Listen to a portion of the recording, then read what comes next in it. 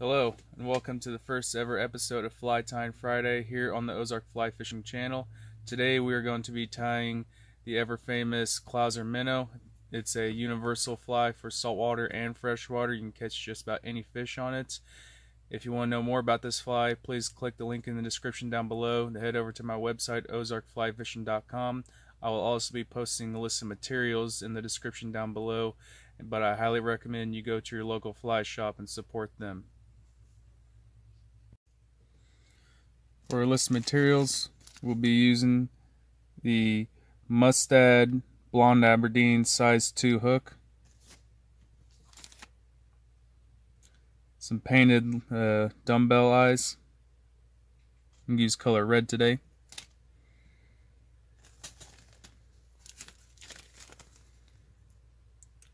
some rainbow flash tinsel, white thread. I, this is probably sewing thread, but you know I'm not too picky about it, unlike some people out there. And then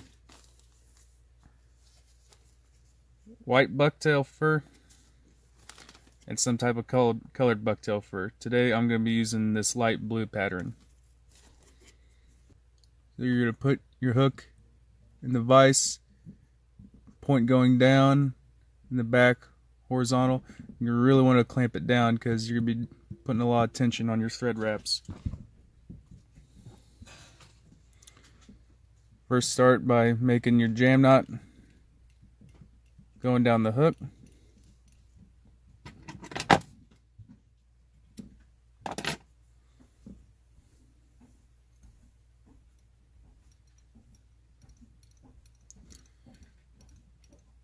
When it comes to placement of the dumbbell eyes on the hook, it's something that can be pretty critical. If you get it wrong, then it can be difficult when you go tying your bucktail on. I like to put a couple wraps, or extra wraps there to mark where I'm going to put my eye. When it comes to eye placement, you don't want it too close to the eye or too far back. Somewhere along the line, just a little in front of the middle.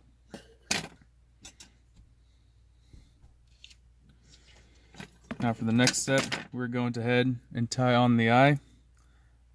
I myself have to use hemostats for these little eyes because I have big fingers. So lay the dumbbell across the top, do a couple fairly loose wraps going one way without causing it to do that.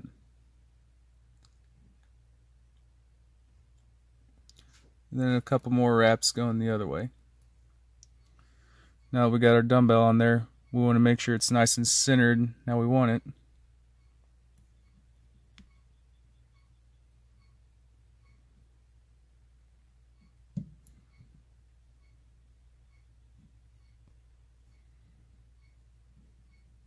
Looks pretty good. So now we can start really cinching it down do several cross wraps.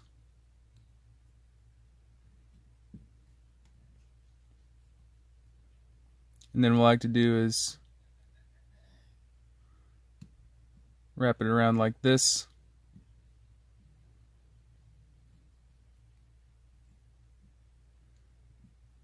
Do a couple more like that. And then finally do something we call in the boys Boy Scouts called frapping. Just lock all those wraps down.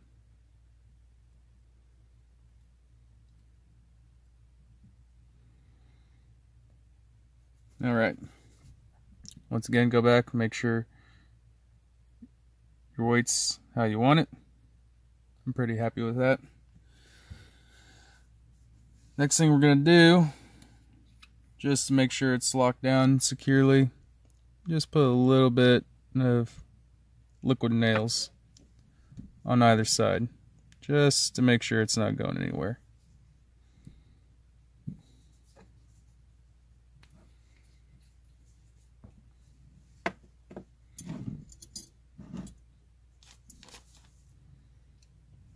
The next step we're going to cut out our bucktail now. And when you do this, you don't want to get too close to the base because the hairs down there are pretty hollow. So we're going to pick somewhere in the middle.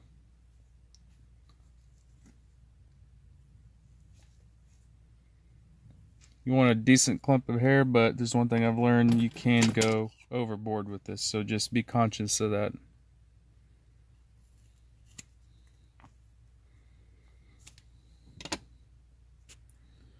Pull out all the excess.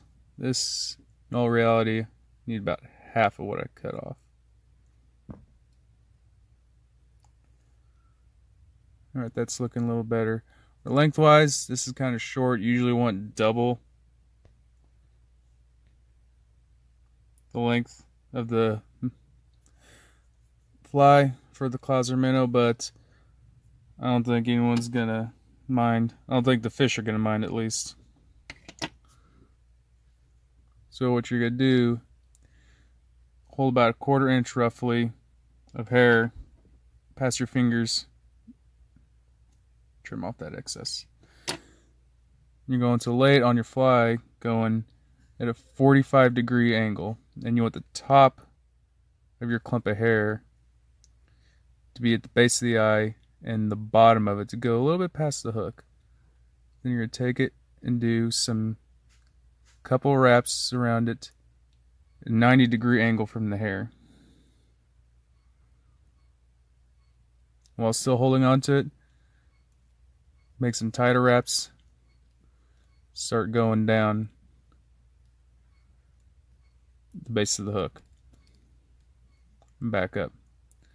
Then you're going to bring your thread under the dumbbell eyes and tie the hair down right behind the other side of the dumbbells.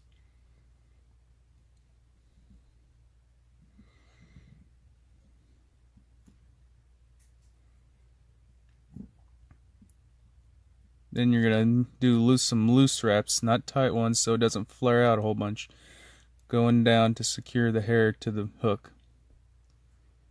And then near the end you can do two or three good tight wraps and more loose wraps going back up. Once again, go under the dumbbells and back towards the front.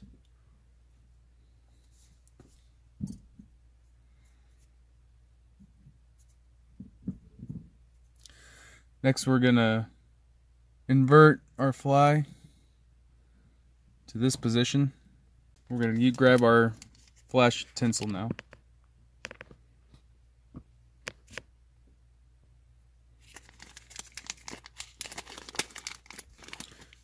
grab a couple strands, fold them in half.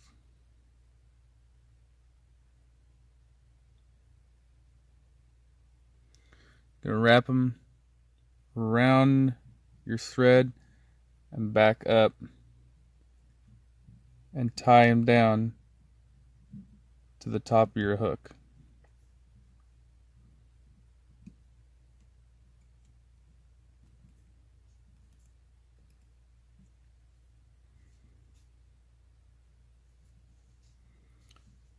But both strands are on either side of the hook. That one's kind of flaring out a little bit. They both are, so what we could do is pull them back, cinching down just a little bit better to make sure they stay pointing back like that.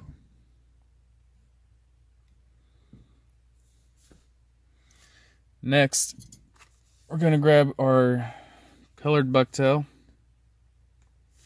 In the same procedure, don't grab something down below, grab something a little further up, roughly in the middle section. Don't want to grab as much as I did last time. And for me personally, I like the colored bucktail to be a little bit longer than the white. That's just my opinion. Some people might tell say otherwise, but once again, I don't think the fish mind. Pull out any loose strands.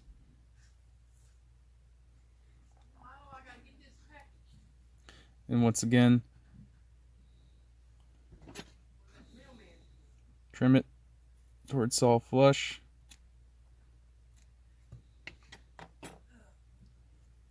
Within a reasonable amount. And then lay it back down on the hook at the correct angle. A couple loose wraps 90 degrees to the hair. And then cinch it down tight. While still holding onto it, start cinching it down, going towards the eye of the hook.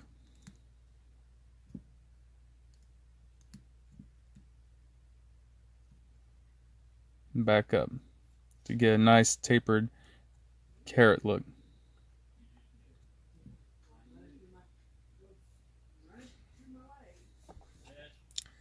Now we are ready to whip finish. Pull out a little bit of thread.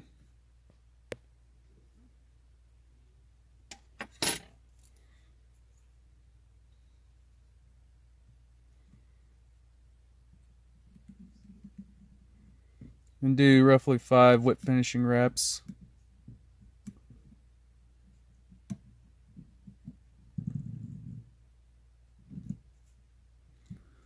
Go ahead do another five just to lock it down just to be sure.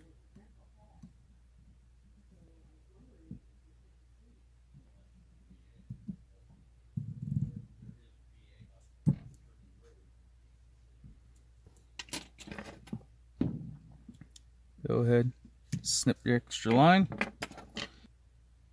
we're going to take our whip finishing tool and like what we did with the flash tinsel, just separate the hair down either half of the hook.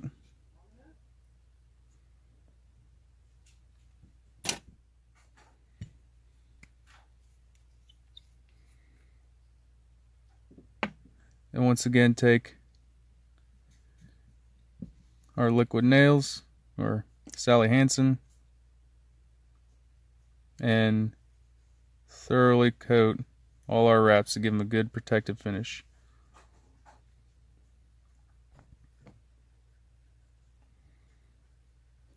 Same thing.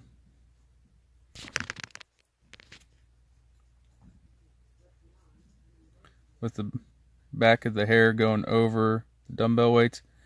And even a little bit on these wraps going down the hook shank. Just so that way the fly doesn't fall apart within the first few fish it catches.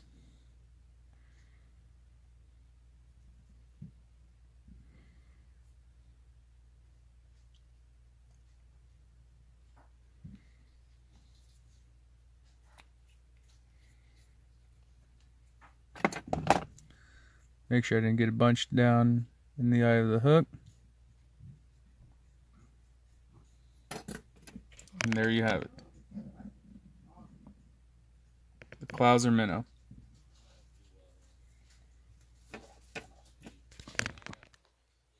If you feel like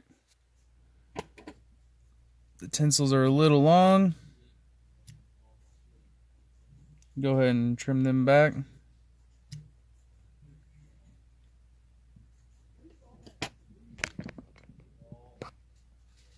There you have it, folks.